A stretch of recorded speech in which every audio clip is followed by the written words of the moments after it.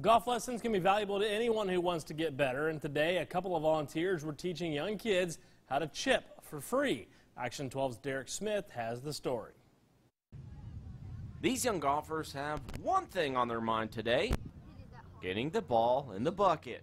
Hey, you gotta try to get the, the ball into the bucket, and if you got into the bucket, you would uh, get to one dollar. This golfing game is all in coordination with the program sponsored by Joplin Junior Golf, where volunteers offer free golfing lessons for five weeks to children at Rangeline Golf in Joplin.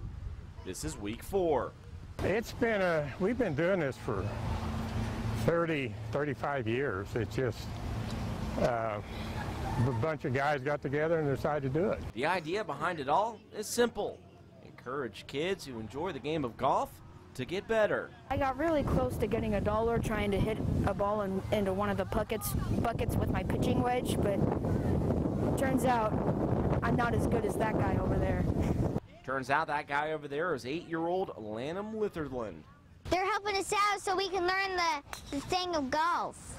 He was the only golfer to get his ball inside the bucket, which his mom got all on camera. We were doing chipping, and I got in the bucket.